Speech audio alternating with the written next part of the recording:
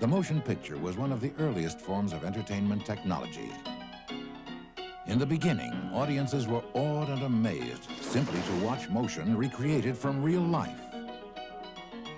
Incredible as it seems today, this film of the Lyon Express arriving at the station caused some patrons to shriek, duck under their seats, and even to faint.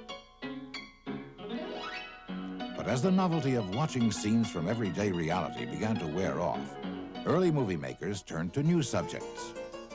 Some began to reproduce skits and comedies in the tradition of burlesque theater.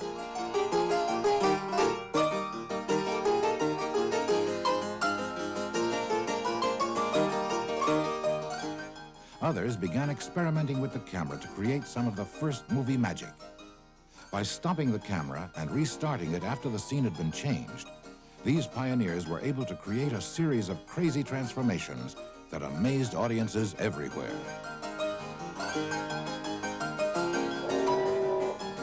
In this scene, the photographer was carefully replaced by a dummy, creating a spectacle which must have shocked the unsuspecting audiences of the day.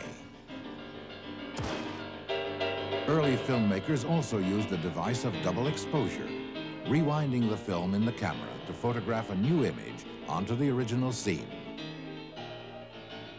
These early camera tricks laid the foundation for what was to become the art of special effects. People have always hungered for the marvelous, the wonderful, the amazing. Before the invention of movies, it was the magician who catered to this universal desire. So it was no accident that the filmmaker known as the father of movie special effects was a French magician, Georges Méliès. Méliès is most famous for his surrealistic film, A Trip to the Moon. Completed in 1902, it was the first science fiction movie ever made. Méliès, seen here as the first man on the moon, combined elaborate theatrical effects with animation and special optical tricks. He produced some 4,000 films in all, and in the process discovered many techniques that are still in use today.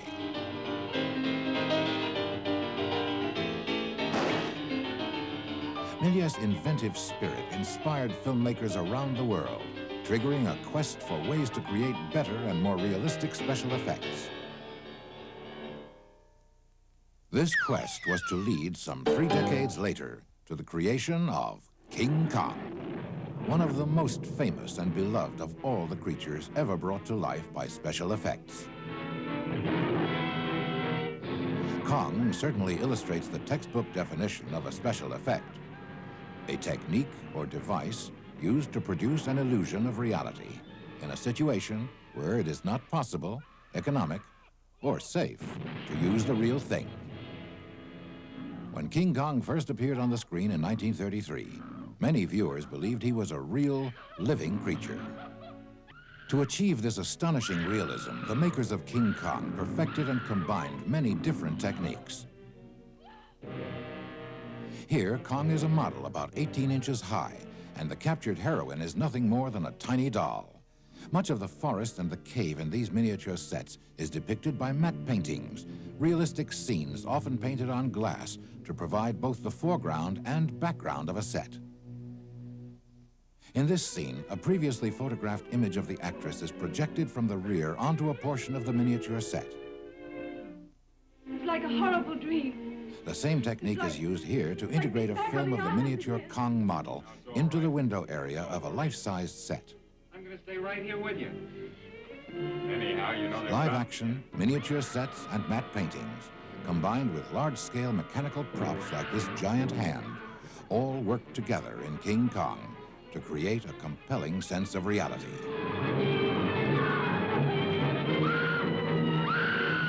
In Kong, the existing special effects techniques were really refined to a great degree. What turns me on is that we are creating something that doesn't exist and can't be done, we'll say, in any other way except through special effects.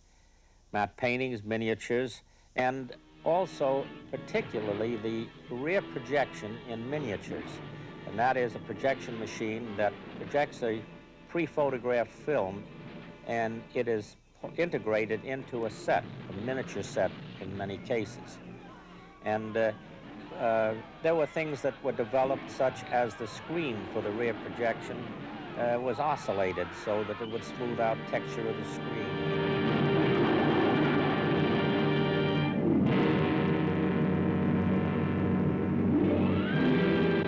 I enjoyed my experience on it because I learned a lot, and I uh, uh, look on that picture today, as, as many do, that it still is entertaining to the newer generations that have come since.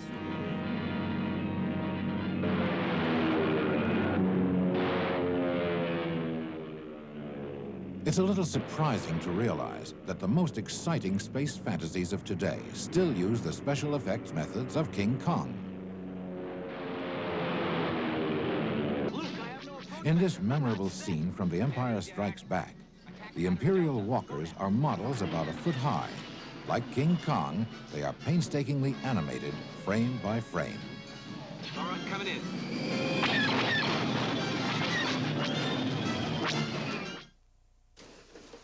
At New World Pictures in Los Angeles, filmmakers today use the same method to bring models to life. This technique is called stop frame animation. The models have joints which allow them to be moved into different positions. Once placed in the set, the model is carefully manipulated into just the right stance. The camera is lined up to photograph the scene, with the model temporarily frozen in one position. A single frame of film is exposed. Leaving the camera in precisely the same position, the model is then moved again a fraction of an inch, and another single frame is photographed. This process is repeated hundreds of times. If the movements are made carefully, the model in the finished film will seem to move as if it were alive.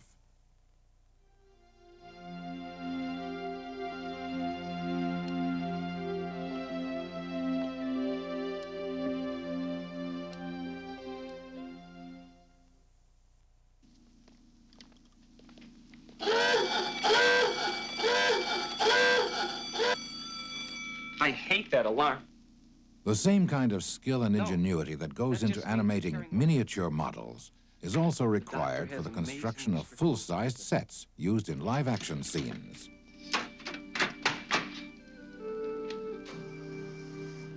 In the movie Android, a variety of watch your step. inventive techniques were needed to create the illusion of life in a futuristic space station. Conserve power for our experiments.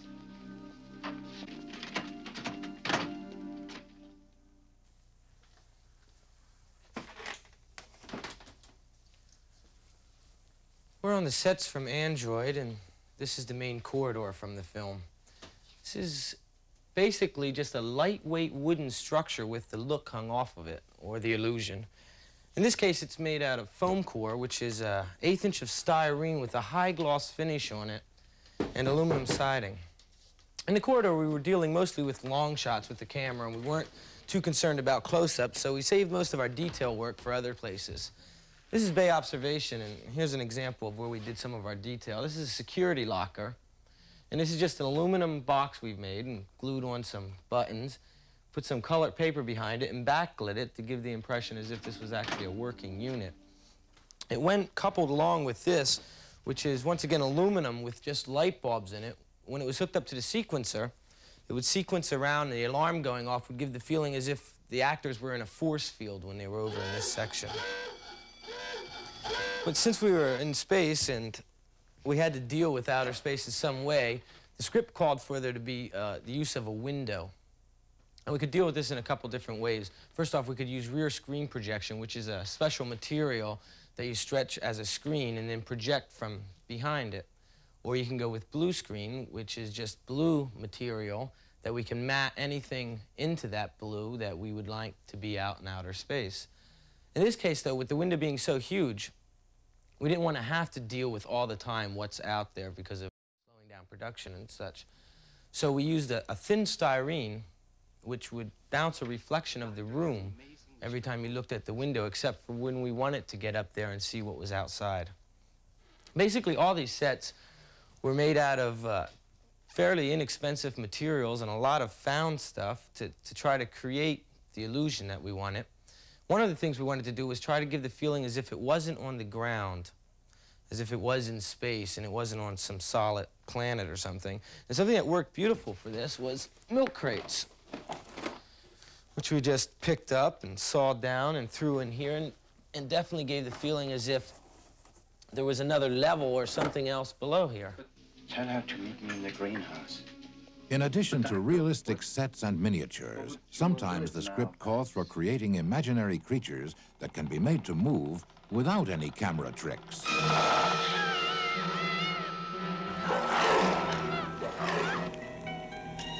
Some people call it special makeup effects, some people call it prosthetics. I don't know what to call it. It's creating an organic structure that moves. This little guy is a good example of what cable control can do. These are all bicycle cables. They're attached to a uh, fiberglass armature, a skeletal structure inside. There are little affixed mechanisms to the foam rubber casting, and it moves when articulated with cables. I'm asked to create a living, breathing entity, uh, something that looks organic, but is articulated in a way left up to my own discretion. And lately that's been cable control, puppets, muppets, masks, just about anything you can think of. Uh, for example, in the film Android, I was asked to create uh, a facsimile of Klaus Kinski's head. But the code specifically states. Don't tell me about the To create the mechanical Klaus Kinski head, first we had to start with a direct casting of Klaus Kinski's face. That is, alginate over his face to create a, a solid dental stone version of him. Based on this, we create a silicone mold. We press clay into the mold, create a Kinski sculpture.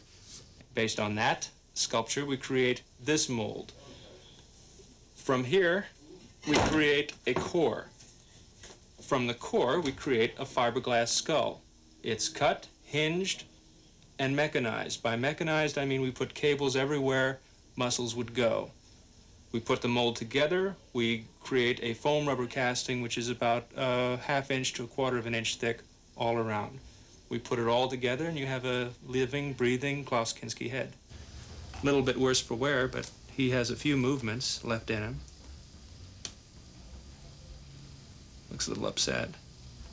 Max 404 he has a little plate in the back of his head. When they remove his hair, and his little panel opens up. There's little flashing lights in there where his assassin circuit is. I'm just asked to create things that don't normally exist, but somehow have to for a film.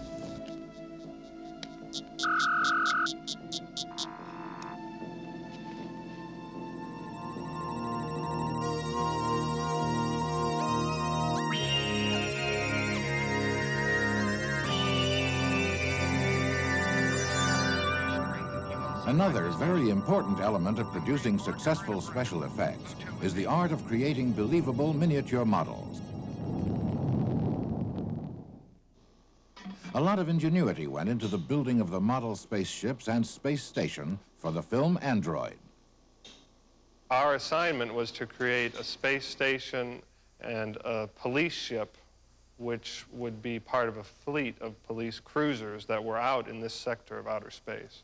So our model builder worked with the director and came up with some designs that we knew that we could do a good job on within the parameters of the rather strict budget. So basically, our, one of our main techniques of model building is to take a basic structure. The basic structure in this case is a watch display case. And then use model kits that you can buy in the store to add detail. We might use pieces from battleship models or gun models, such as a rifle barrel might look good as part of the engine of a spaceship, or a, a piece from a battleship might look good as a storage tank for a space station.